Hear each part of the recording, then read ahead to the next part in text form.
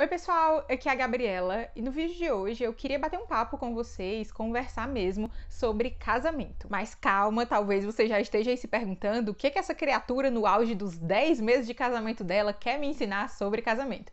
Na verdade, eu queria falar especificamente sobre um período de preparação, as coisas que a gente pensa quando a gente está ali caminhando para o altar, caminhando para o casamento. Vira e mexe, eu recebo lá no Instagram, inclusive se você não me segue, vai lá que é gabriela.bvenuto. E como eu casei recentemente, exatamente por ter casado recentemente, tem aí 10 meses, eu recebo muitas perguntas do tipo: o que, que, é necessário ter para eu me casar. Então, me perguntaram até coisas bem específicas, do tipo quais eletrodomésticos ter, até coisas maiores, do tipo eu preciso ter uma casa própria, eu preciso já ter um apartamento financiado para poder casar. E isso parece uma questão muito prática, mas esse tipo de questionamento e a resposta que a gente dá a esse tipo de questionamento revela muito da nossa visão, das nossas crenças mesmo sobre o matrimônio. E é sobre isso que eu queria falar com vocês. Eu lembro que uma das primeiras aulas do curso de noivos que eu e o Pedro fizemos foi sobre o deixar pai e mãe. O que, que significava aquele deixar, né? O que, que você precisava para se unir com outra pessoa. E aí o nosso pastor falou que esse deixar era um deixar financeiro, né? Uma das coisas que ele falou foi que esse deixar era um deixar financeiro. Você vai deixar de depender ali dos seus pais. Claro que tem muita gente que quando casa já é independente, já tem sua casa, já tem suas coisas, mas esse deixar precisa ser um deixar financeiro. Então você vai constituir um novo lar. Então sim, nós precisamos de alguma estrutura básica para poder casar. Não dá para casar e não, eu vou continuar dormindo aqui no meu quarto, só que eu vou trazer aqui o meu cônjuge para dentro da casa dos meus pais.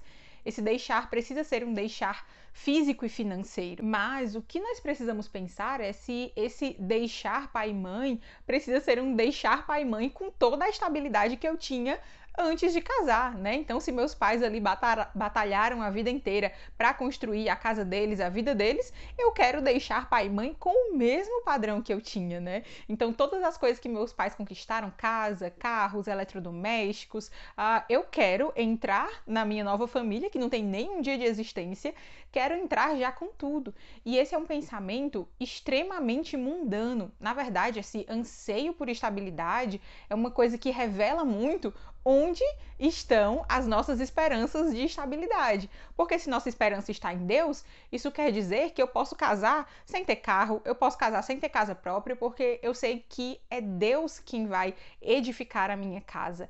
Mas se essa estabilidade eu busco a estabilidade como um ídolo em coisas, então aí sim a gente vai ter medo mesmo de construir uma família, porque pensa que as famílias que já estão mais estabelecidas, que têm um padrão de vida bom, que não é a realidade da maioria dos brasileiros. A maioria das pessoas vai passar ali 30 anos, mesmo que passe 30, 40 anos casado, ainda não vai ter um padrão de vida bom aos nossos olhos, mas ainda assim, tudo que essas pessoas construíram levou aí anos, né? Então a gente quer coisas mais rápidas ou só quer casar quando a gente tiver tudo aquilo que a gente acha necessário. E com isso em mente, a gente acaba esquecendo que é completamente normal, é a regra que pessoas comecem construindo coisas quase que do zero. Esse aqui é o normal, é uma família que está começando. Então é normal que todo esse aparato, né, de casa, de bens, dessa dita estabilidade também esteja começando do zero, né? O anormal é que você já tenha tudo. De repente você tem pais muito ricos que podem te ajudar super, né, nesse começo de caminhada, e eu não sou contra isso, isso é uma coisa boa, né? Então, se você tem isso, dê graças a Deus. Se teus pais podem te ajudar, se você tem familiares aí que podem te dar bons presentes, graças a Deus por isso. Mas a regra é que um casal ali jovem comece construindo as coisas do zero, né? Só que a gente tem na nossa cabeça, eu acho que uh, isso é uma mentalidade que a gente vem absorvendo muito do mundo, né? De pessoas que vão lá, constroem suas carreiras, viajam o mundo e depois elas, não, agora eu posso sossegar o facho e posso casar né? Aí elas casam, só que elas já têm uma vida inteira construída. Essa, gente, é a escadinha do mundo. Então, ah, eu vou me formar, eu vou arrumar um, um bom emprego, eu vou atingir X é, valor aqui no meu salário, e aí eu posso pensar, né? Pensar nesse negócio aí de casamento. Eu preciso ter X na conta bancária para pensar nisso. Isso também vai reverberar na questão dos filhos. Muita gente já casa com essa mentalidade. Não, eu preciso ter aqui uma casa financiada, preciso ter uma casa própria, o carro tal, só quando eu trocar de carro, né? E aí, quando entra, um, entra na questão dos filhos, ah, eu preciso ter X dinheiro guardado para poder ter um filho. Eu preciso ter uma casa de não sei quantos quartos para poder ter um filho. Eu preciso ter viajado tantos países para poder ter um filho. Então percebe que essa ordem é uma ordem muito mundana e a gente vem colocando todos esses critérios é, para formar uma família, para constituir família. Quando o que a gente tem na Bíblia, o significado do casamento, do matrimônio, não é esse. São duas pessoas que vão ali espelhar a relação de Cristo e a igreja. É uma nova família que vai edificar o mundo, vai abençoar o mundo, né? Ser ali um lugar de refúgio, ser um lugar que manifesta a glória de Deus. E aí, quando a gente atrela todas essas coisas, né? Quando a gente, na verdade, deixa de lado esse significado bíblico do casamento e coloca ali um significado puramente material, aí a gente passa aí, ó, anos namorando, né? A gente fica enrolando, porque não, eu tenho medo de não dar conta. Claro que dá medo, gente, claro que dá medo. Eu tava até falando com o Pedro que a gente, eu parei assim, né? Olhei para as nossas coisas, eu estava planejando cardápio e aí eu pensei, nossa, faz 10 meses que a gente está aqui mantendo uma casa, trabalhando e juntos mantendo uma casa. E antes eu ficava assim, meu Deus, será que, né, vai dar certo? Mas aí a gente confia que Deus abençoa famílias, né? A gente trabalha, a gente tem responsabilidade, mas a gente confia que é Deus que edifica mesmo a nossa casa. Quando a Bíblia diz isso, é porque isso é verdade. Se a gente quiser ticar várias coisas na nossa lista antes de casar, gente, pode, pode acontecer alguma coisa que está completamente fora do nosso controle e mesmo que a gente construa muitas coisas, isso pode vir abaixo rapidamente, né? Mas quando nós colocamos a nossa esperança no Senhor, a gente sabe que o Senhor é uma rocha firme, né? Que não muda e que está sempre ali por nós. É Ele quem vai nos ajudar e nos sustentar dia a dia. Contando um pouquinho da nossa história para vocês, é, às vezes a gente olha assim na internet e, como é só um recorte, e óbvio que a gente não vai ficar compartilhando todos os perrengues com a internet, né? As crises, as dificuldades, os momentos de choro, de angústia. Uh, as pessoas acham que, ai, ah, não, mas muito fácil para ela, muito fácil para eles, né? A gente olha aí, até os casamentos mesmo. Eu lembro que no ano passado, quando eu casei, teve uma blogueira muito famosa que eu amo, inclusive, que casou muito, muito próximo assim a, a, a mim e, gente, era outra realidade. Imagina se eu me deslumbro com as coisas que aquela mulher tinha naquela hora. Eu não ia casar nunca, porque eu jamais, jamais vou chegar no nível de vida que aquela mulher tem, né? Então, às vezes a gente se deslumbra, a gente vê recortes assim na internet, e pode ser que seja real mesmo, né? E a gente se deslumbra uh, com a vida das pessoas e acha que a pessoa tem tudo, né? Mas aí, falando um pouquinho da, da minha história com o Pedro, a gente não veio assim. Eu, principalmente, eu não vim, definitivamente, eu não vim de um lar abastado, assim, definitivamente mesmo. É, eu já contei um pouquinho da história de como a gente planejou o nosso casamento. A gente casou sem ter um real no bolso, assim, guardado, né? Então, quando a gente, o Pedro me pediu ali em casamento, a gente começou a fazer um orçamento para a festa e a gente começou a definir também qual seria o mínimo, né, pra gente casar. Então a gente colocou ali uma cama, a gente colocou máquina de lavar, colocamos geladeira e eu acho que foi só isso, gente. Fogão também. Mas aí é engraçado, e eu já dizia assim para as pessoas: eu olha, gente, isso aqui é o mínimo, né? A gente vai casar assim com o mínimo mesmo, e depois a gente vai construindo. Só que no final das contas, a gente casou com menos do que o mínimo que a gente tinha colocado. Já estava o básico do básico. Mas no final das contas, a gente não conseguiu comprar máquina de lavar, por exemplo. A gente está fazendo 10 meses de casamento e a gente está usando a máquina de lavar que foi dos pais do Pedro, que deve ter a minha idade, a máquina, né? Uma bem antiga, bem antiga mesmo.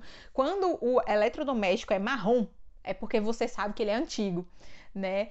E assim, graças a Deus, tá super quebrando um galho pra gente e a gente ainda não conseguiu comprar uma máquina de lavar. A gente herdou assim algumas coisas bem antigas que tem uns 30 anos aí dos pais do Pedro. 30 não, deve ter uns 20, né? Uh, e aí a gente herdou essas coisas e ainda não compramos aquele basicão. Quando a gente casou, a gente pensou, ah, a gente vai ficar com isso aqui, né? Com, com esses eletrodomésticos assim, antigões, por três, quatro meses. E a gente ainda não conseguiu comprar as nossas coisas novinhas e tal. E o básico, gente, quando eu digo que é o básico, eu disse, máquina de lavar, né? E aí a gente está se, se, planejando para conseguir comprar isso em dezembro, janeiro. Aí gente, é uma previsão de quando a gente vai conseguir comprar mesmo esse tipo de coisa. Então o que a gente comprou foi uma cama, a gente ganhou uma mesa, né? E depois a gente ganhou as cadeiras também, porque assim, assim que a gente casou, as pessoas vinham e a gente ficava catando banco assim pela casa para o pessoal sentar. Depois a gente ganhou umas cadeiras. Ah, uma coisa que foi muito básica pra gente também foi comprar escrivaninhas, né? Tá aqui a minha, a do Pedro tá aqui na frente e cadeiras de escritório, porque a gente trabalha em casa e a gente passa muito tempo sentado. Então pra gente isso era uma coisa primordial. E aí eu, né, pensava assim, ah, eu vou comprar aqui todos os meus potes de vidro, porque eu quero potes de vidro, não vou ficar com esses potes de plástico, né, que eu detestava os que tinha lá na casa da minha mãe, né? E aí a gente tá o quê? Com os potes de plástico, a gente ainda não conseguiu comprar aquilo que a gente queria, né? Coisas que são básicas, não é? Ai meu Deus, coisas super luxuosas, uh, mas a gente ainda não conseguiu comprar do jeito que a gente queria. Mas a gente sabe que é só o primeiro ano, que a gente tem a vida inteira pela frente para construir tudo isso juntos, para transformar a nossa casa cada vez mais num lar porque já é o nosso lar, já é o nosso lugar de refúgio. Então a gente está imensamente feliz, apesar de que nossa vida poderia ser muito mais simples. Se a gente tivesse a máquina de lavar, que tivesse lá muitas funções de lavagem, que a roupa saísse lim 100% limpinha, né? Se a gente tivesse as coisas que a gente queria de eletroportátil, né? Mas aí a gente está construindo e estamos imensamente felizes, gente. Então, o que eu queria conversar com vocês é que a alegria de construir um lar sobre a rocha, de construir um, uma casa centrada em Cristo, né? Quando Cristo está no centro do nosso relacionamento, a alegria de, de constituir essa família, de começar uma família nova, é muito maior do que os perrengues que você vai passar por não ter coisa X, coisa Y, coisa Z né? Perguntaram um dia desses lá no Instagram o que, que eu achava das pessoas ficarem julgando quem casava sem ter casa própria. Aí eu, gente, ninguém que eu conheço casou tendo casa própria. De verdade, assim, do meu círculo de pessoas mais imediato, ninguém casou tendo casa própria. Definitivamente essa não é uma realidade assim entre as pessoas mais próximas, né? O aluguel é o normal, o padrão do brasileiro. É, carro, por exemplo, a gente não tem, a gente não faz a menor ideia de quando é que a gente vai ter um carro, né, ter condições de comprar um carro, mas estamos aqui muito bem. A gente não quer colocar quesitos, né, condições humanas uh, em algo que Deus instituiu, né? Então a gente não quer estabelecer um valor para nossa conta bancária para poder ter um filho, a gente não quer estabelecer os bens que a gente tem que ter para fazer as coisas normais da vida, gente, porque se unir em família, ter filhos, isso aí é a coisa mais antiga do mundo, desde Gênesis, né? Então, Deus abençoa, Deus ama casamentos. Então, não importa se você vai casar tendo tudo na sua casinha, isso é maravilhoso. Se você conseguir, que bênção, é maravilhoso. Mas pense no que é que você está construindo ali e olhe para a palavra, sabe? Peça sabedoria a Deus para não colocar empecilhos mundanos num projeto divino, né? Porque a família é um projeto divino. Esse foi um bate-papo mais aberto. É, me contem aqui nos comentários o que, que vocês acham, quem tá aí noivo, prestes a casar. Comentem aqui embaixo o que, que Deus tem feito na vida de vocês nesse momento, quem aí casou agora também. Vamos continuar essa conversa nos comentários. Eu quis gravar esse vídeo, primeiro porque eu quero trazer mais conversas aqui, além dos vlogs, além das resenhas, mas também porque eu queria encorajar vocês aí que estão namorando, que estão com medo de casar porque não tem tudo, tem medo de não dar conta.